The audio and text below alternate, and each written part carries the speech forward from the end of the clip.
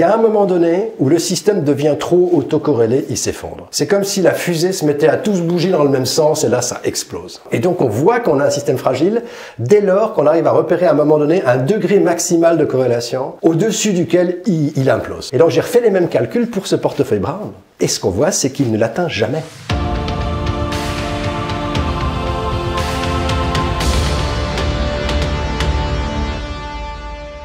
Didier Darcel, bonjour, merci d'être avec nous aujourd'hui. Bonjour Richard. Euh, dans la lettre d'investissement qu'on co-rédige ensemble, on a trois profils euh, pour les gens qui veulent, se, qui veulent investir leur argent. Il y a le rentier Mhm. qui veut euh, faire cash plus inflation plus quelque chose, Ouais. mais le- leur but c'est essentiellement de ne pas perdre. Ouais.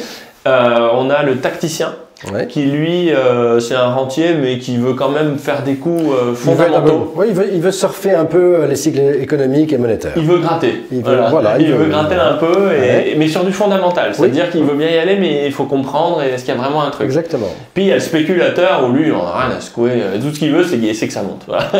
Donc on est sur du comportemental, on n'est Ouais. pas sur du fondamental. Voilà. C'est les trois grandes stratégies.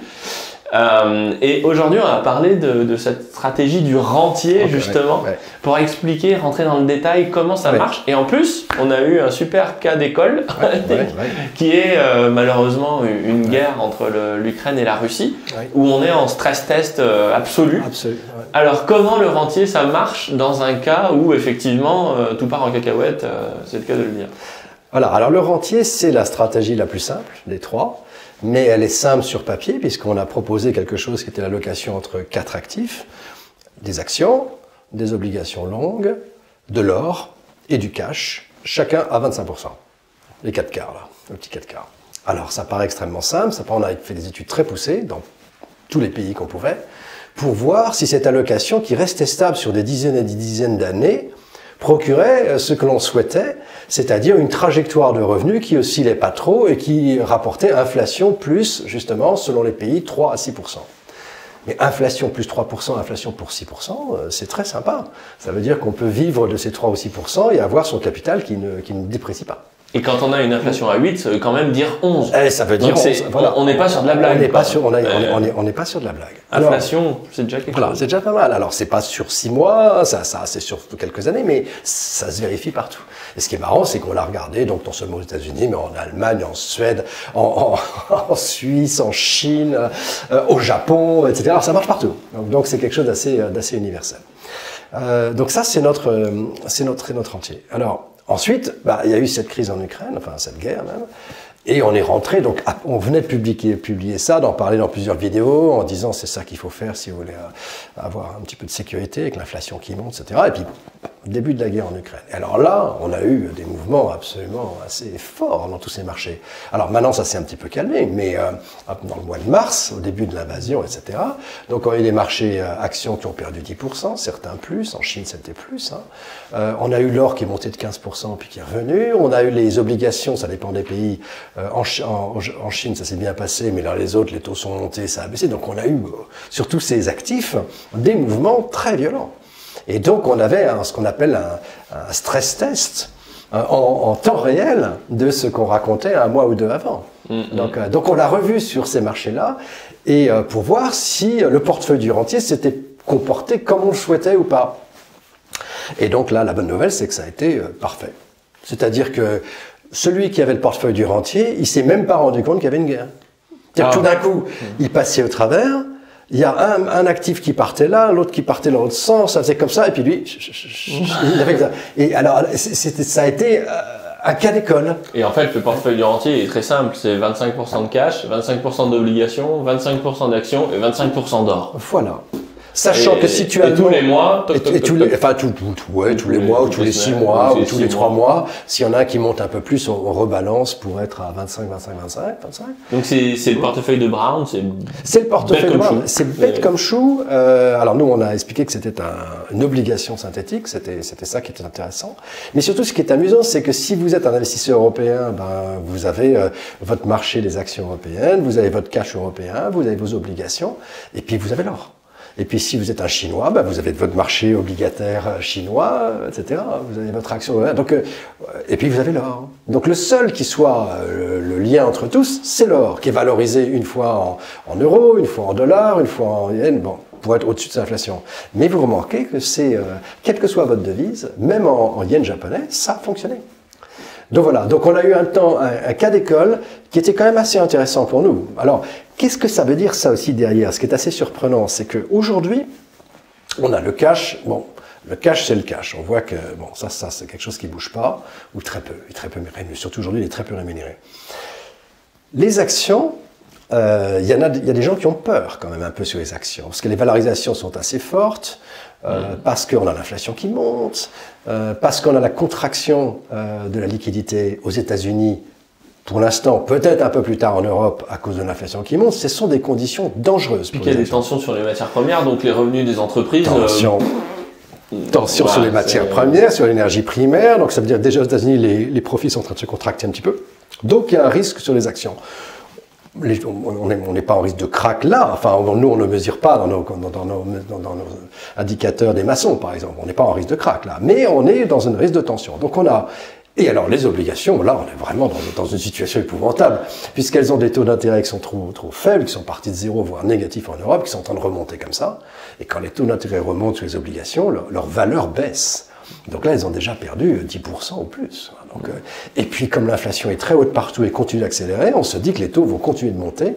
Donc la perspective est mauvaise. Donc, donc sur la moitié du portefeuille, il y a 25%, on n'est pas serein, et les autres 25, ils ont déjà perdu 10%. Ils ont déjà perdu 10%, etc. Donc on se dit, mais comment est-il possible que ça, euh, que ça tienne? Et donc, je ne sais pas, mais ça veut dire implicitement que si cette espèce de structure fondamentalement stable de ce portefeuille à 4 euh, continue dans l'avenir, ça doit dire que l'or doit monter beaucoup. Donc en fait, quand on dit oui mais les obligations ont beaucoup baissé, bah oui mais parce que l'or va monter beaucoup. Alors je ne sais pas si l'or va monter beaucoup et je sais pas si les obligations ont beaucoup baissé. Mais si en fait c'est ce que ça nous dit ce truc-là, ça nous dit que quand on a une situation de cette nature-là, ça s'est déjà produit dans les années 70. On avait les obligations, c'est une catastrophe. On se dit, mais attendez, vous pouvez pas rester avec les obligations des années 70, avec l'inflation qui monte, les taux d'intérêt, etc., qui montent à 15-20% aux États-Unis. Et pourtant, ça a fonctionné. Mais quand vous regardez dans ce moment-là, c'est le moment où l'or a explosé. Donc, je ne sais pas. Donc, ça veut dire, oui, il y a, y a, un message implicite derrière, qui est que si on croit à la stabilité de ce truc-là, moi j'y crois, ça veut dire implicitement que si ça se passe mal sur les obligations, que ça commence à mal se passer aussi peut-être sur les actions, ça veut dire que l'or va monter. Et quand tu dis moi j'y crois, c'est pas juste euh, j'y crois au petit Jésus, c'est surtout que fondamentalement l'idée derrière c'est que chacune de ces quatre classes d'actifs a un fonctionnement et des caractéristiques bien propres qui décrivent une partie du monde en fait. Oui. Et que du coup, comme on, voilà, un peu, c'est un peu un jeu à somme nulle quelque part dans ces quatre classes, quoi. Tout est, tout est là, quoi. Donc si ça baisse d'un côté, c'est comme un matelas, euh, on appuie et puis pop, ça gonfle de l'autre. oui, absolument. Il y a une mécanique, quoi. C'est pas juste une croyance. Euh, absolument, hein. absolument. Et puis parce que j'ai fait des vérifications statistiques qui sont assez originales là, sur ce portefeuille et j'ai été complètement surpris du résultat. Euh, tu sais, j'avais trouvé des méthodes pour euh, pour vérifier la corrélation interne d'un système. Bon, c'est des méthodes un peu particulières. Et je me rendais compte que dans les marchés, que si vous prenez par exemple l'ensemble des titres euh, par exemple du CAC, je l'avais fait sur le CAC, je me rendais compte qu'il y avait des moments où les titres étaient très corrélés, donc ils, bougeaient un peu tous dans le même sens, puis il y a des moments où ils étaient décorrélés ou négativement corrélés, etc. Euh, et cette variable de corrélation ou d'anticorrélation, elle vous décrivait le comportement interne d'un système. Et ce qu'on voyait, c'est que certains portefeuilles, comme par exemple le CAC 40, tous les actifs actions, sont fondamentalement fragiles. Et qu'est-ce que ça veut dire? Ça veut dire que à un certain niveau d'autocorrélation des composants, il s'effondre. Mais il s'effondre. Hein. C'est-à-dire que là, par exemple, quand je faisais le graphe en montrant euh, les rendements successifs du CAC au cours du temps, mais pas classés euh, au cours du temps, mais classés par ordre de corrélation croissante, on voyait que le CAC montait, montait, puis il perdait 97% de sa valeur. Ça voulait dire qu'il y a un moment donné où le système devient trop autocorrélé, il s'effondre. C'est comme si la fusée se mettait à tous bouger dans le même sens et là ça explose. Le pont qui vibre. Le pont qui vibre et, qui explose. voilà. Donc c'était et cette méthode, je l'ai publiée pour ceux que ça intéressera. On en avait parlé d'ailleurs, c'est la corrélation en temps réel. Et euh, voilà. Et donc on voit qu'on a un système fragile dès lors qu'on arrive à repérer à un moment donné un degré maximal de corrélation au-dessus duquel il, implose. La rupture. Voilà. Et donc j'ai refait les mêmes calculs pour ce portefeuille Brown. Et ce qu'on voit, c'est qu'il ne l'atteint jamais. c'est ça qui est extraordinaire. C'est que depuis, depuis toute l'histoire que j'ai, il n'atteint jamais ça. Il est tout le temps. C'est un et demi, quoi. Oui, oui, alors ça dépend. Oui, pour les plus, pour les plus grands, pour les plus grands, mais pour, pour le dollar. Mais pour les autres, c'est 50, 70 ans, tu vois. Mais il ne l'atteint jamais.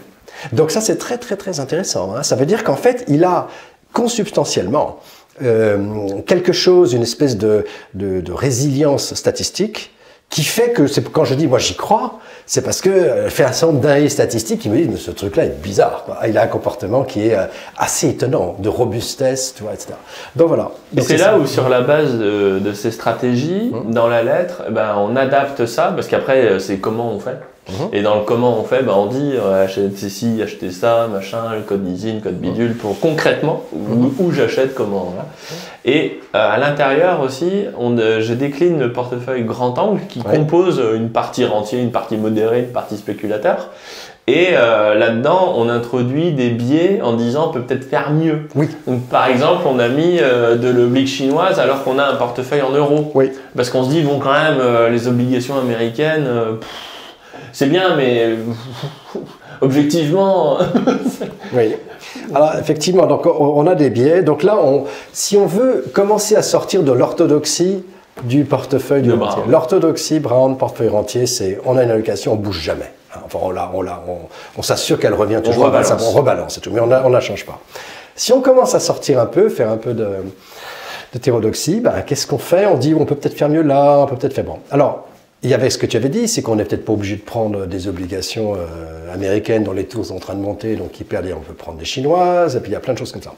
Il y a aussi une méthode extrêmement simple, encore une fois, qui est une méthode de, de comment dirais-je, de...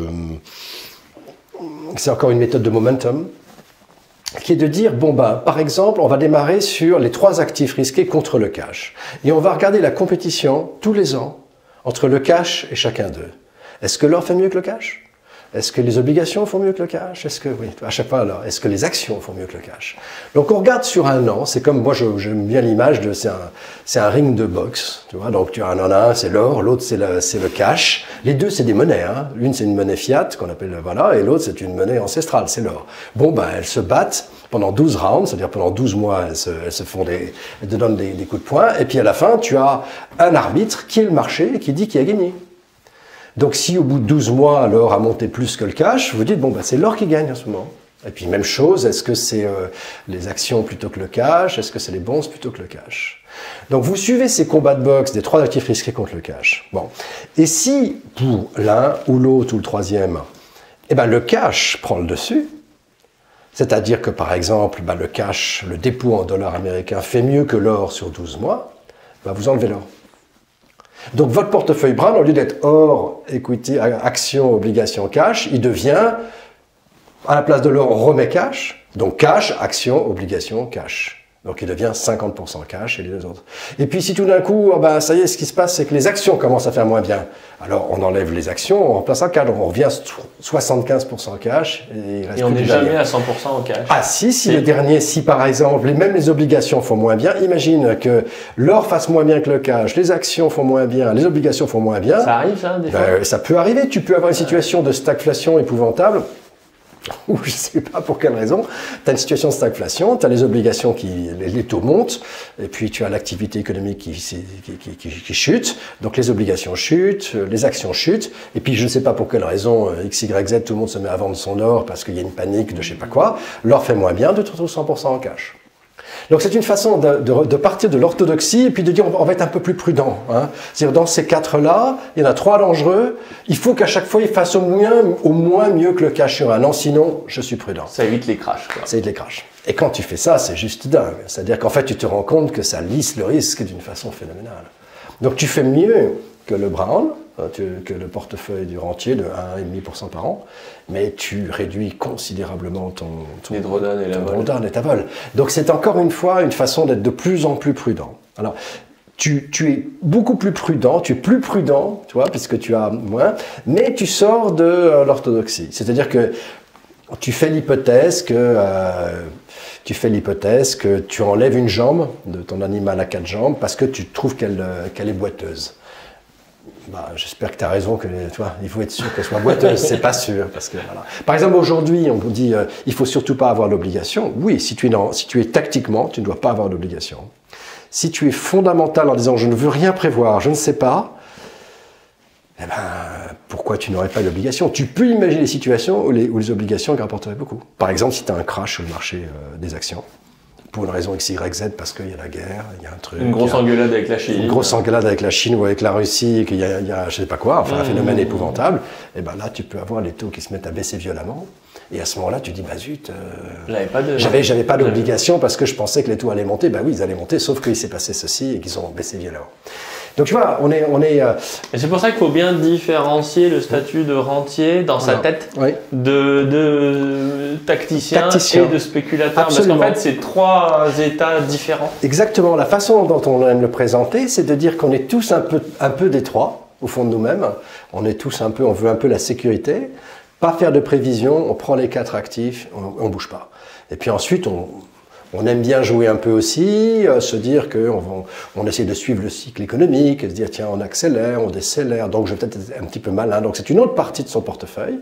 Donc par exemple le premier c'est 60% de ses, biens, le deuxième c'est par exemple je sais pas 30% de ses biens, et puis il vous reste peut-être 10% ou 5%. Ça, vous dites euh, oui mais enfin je peux aussi aller jouer sur euh, ce dont tu parles souvent sur les cryptos, sur des coûts à faire, etc. C'est-à-dire être purement spéculateur. Spéculateur. Mais ça n'est pas absurde de temps en temps d'être spéculateur. Par exemple, avec les actifs russes qui ont chuté euh, de 50%, si, si moi j'avais des possibilités de l'acheter, bah, j'achèterais tout de suite des actifs russes. Oui, bah, je peux t'en parler. Moi, j'en ai acheté quand ça fait moins 50 et bah, maintenant c'est gelé. voilà, bah, c'est gelé. Moi, je te les rachète si tu veux. Moins 50. Ils sont gelés, ça c'est le problème. Mais tu sais qu'intrinsèquement, ils ont une valeur bien supérieure. Oui, oui, c'est ça, donc ça me fait rigoler. Mais, euh, ouais, c'est ça. mais si ça se dégèle un jour, mon ah, bah, ETF. Ah, bah, oui, bah, bien sûr, il va être multiplié par deux, bien sûr. Mais c'est. Bien sûr. Donc là, par exemple, la spéculation sur ces actifs n'a rien d'absurde d'un point de vue intellectuel. Si tu, as, si tu peux avoir un accès à des obligations russes hmm. ou à des actifs russes, euh, en rouble, bah écoute, euh, c'est formidable. C'est-à-dire que, enfin, d'un point de vue purement d'investissement spéculatif. On ne parle pas des questions euh, morales, oui, soit, purement qu'on soit, pour ou contre, c'est pas la question. En termes de chiffres. En termes de chiffres et de spéculation financière, c'est évident. Ils sont totalement décotés par rapport à leur valeur intrinsèque, qui est liée à l'énergie. Et c'est pour ça que du coup, dans la lettre, on donne ces trois profils et puis on donne aussi un, portefeuille grand angle qui décline un peu euh, un mix. Ouais. En fait, il faut dire, bon allez, je suis rentier 40%. Et puis je, suis, euh, je suis tacticien à 35%, parce que quand même. Et puis le reste, bah allez, je suis spéculateur, parce que quand même, ah, j'aime ça. Et puis euh, je donne aussi vis-à-vis de la crypto, notamment euh, par rapport à tout ce qui est stablecoin, donc des, des, des, coins qui sont stables par rapport au dollar, donc c'est pas des choses qui varient comme Bitcoin. Des stratégies pour le cash bah, il est à zéro, euh, c'est un peu couillon. Euh, au lieu de le mettre euh, à la Fed où ils vont me le prendre négatif, et eh ben, je le fais tourner à 10-15% mhm. sur les nouvelles technologies de la blockchain. Et voilà, après, on peut vraiment. Mais mais la base, faut vraiment apprendre à, voilà, faut se décider, faut, faut avoir une conversation avec soi-même. C'est ça. Que j'ai pas encore eu en fait, moi, sur tout mon, non mais j'ai pas encore un raisonnement global sur tout ce que, je suis payé pour tester plein de trucs, alors du coup. tu testes, oui, c'est Mais euh, et, et, avec, à partir de là, on peut vraiment, euh, on peut vraiment s'amuser. Donc si vous voulez vous abonner, bah, vous pouvez cliquer sur la fiche qui apparaît en haut à droite de l'écran. Et, euh, et, voilà, donc on vous donne des petits trucs aussi que vous pouvez amuser à faire euh, chez vous avec vos enfants le dimanche. des petites astuces. Voilà, des petites astuces de Monsieur Plus.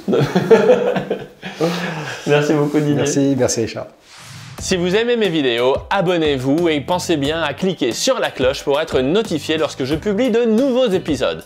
Et pour recevoir le guide de l'investissement de ceux qui ont déjà réussi, inscrivez-vous ici.